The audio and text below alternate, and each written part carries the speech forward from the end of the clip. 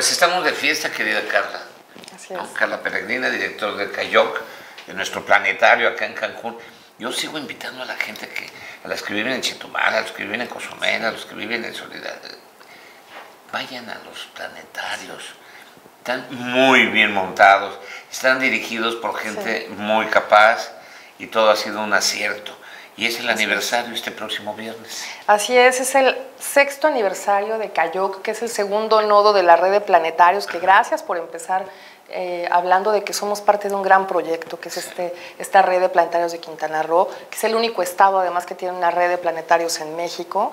Y, y, bueno, luego me dicen, no son muchos cuatro planetarios, y yo digo, nunca es demasiado, ¿no? Los planetarios nunca sobran.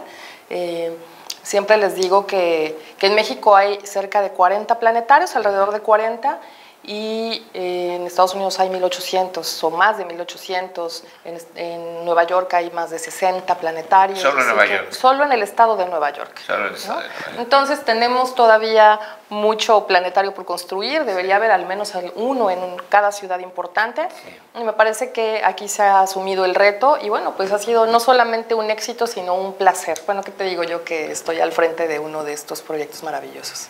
Yo que conozco a cada uno de ustedes, de todos los directores, conozco a Víctor, pero a cada uno de los directores, sí es gente muy especial, gente eh, concentrada y dedicada a, al apoyo de la cultura. Y de acá de nuestra cultura, vaya que sí, tenemos mucho que presumir y que, que mostrar. Y el planetario lo tiene, los planetarios lo tienen. ¿Cómo se festeja este aniversario? Bueno, nosotros generalmente hemos instaurado que julio es el mes del aniversario. Entonces hacemos una serie de eventos especiales, nos trepamos a cualquier pretexto, como por ejemplo que este mes, el día 20 de julio, se conmemora el 50 aniversario de la llegada del ser humano a la luna. Okay. Entonces, bueno, ese es un tema que nos toca y 50 nos años. 50 Yo lo vi. a mí me tocó verlo, estaba yo chamo, chavo, y estábamos reunidos muchos amigos viéndolo, que hasta la fecha este, tengo mis dudas. Ah, bueno, qué bueno que, que lo dices. Soy de los que duda. Y el día 18 tenemos para los renegados como sí. tú, para los dudosos, para los criticones, para los sí. críticos, que siempre está muy bien tener gente crítica, tenemos una sesión con Pensamiento Escéptico Cancún, que es mitos y realidades alrededor de la luna, alrededor de la llegada del ser humano a la luna. Ah, qué bueno. Y justamente van a tratar todos estos temas. Todos esos temas. Todos estos temas. Así que tenemos el día de los creyentes, de los believers, y tenemos el día de los unbelievers, que es el día 18, sí. para que todos los que no creen y tienen todas las dudas vayan ese día y a través del ojo crítico de pensamiento escéptico, sí. pues resuelvan sus dudas. Pero el día, bueno, tenemos también una conferencia con Jerónimo Avilés, que ya sabes, sí. maravilloso, que está hurgando por todas las cuevas sumergidas de Quintana Roo y donde le pongan un hoyo con agua, él va y se mete.